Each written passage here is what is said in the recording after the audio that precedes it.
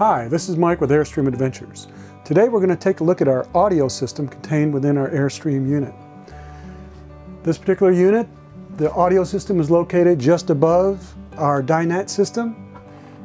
The Fusion radio audio system has an on-off power button, bottom left-hand corner. We have a menu or scroll uh, drop-down screen with the arrow at the top.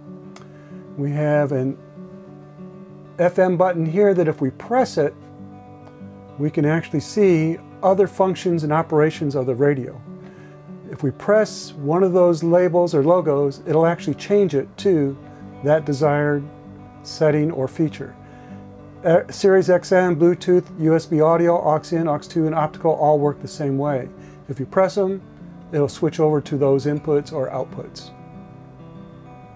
We have a settings button over here that allows us to change zone, brightness, tuner, and language.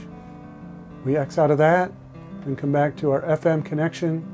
And at this point, we can scroll left or right to show our different channel settings. And we have a manual and auto mode also. Just touching those will change it. And in the FM setting, if we want to change the volume, we just rotate the knob. We can select the zone that we want to change that volume in. In this particular unit, we have two sets of speakers, two in the front, two in the back.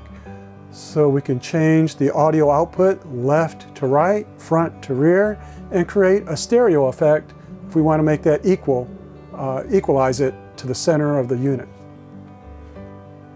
Over here we have a USB connection, and this radio works off an inverter circuit off the electrical panel.